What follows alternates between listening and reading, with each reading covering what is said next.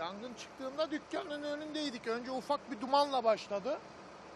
Ondan sonra birden alevlendi. Sonra itfaiyeyi aradık. Onlar da sağ olsun 15 dakika içinde geldiler yani müdahale ettiler. Yoksa 2 senedir boş duran bir bina.